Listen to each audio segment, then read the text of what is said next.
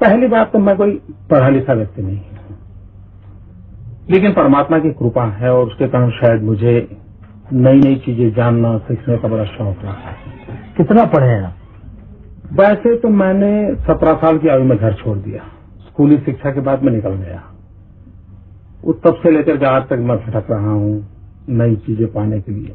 सिर्फ़ schooling school तक पढ़े मतलब हाँ। प्राइमरी स्कूल तक? हाई स्कूल तक। High school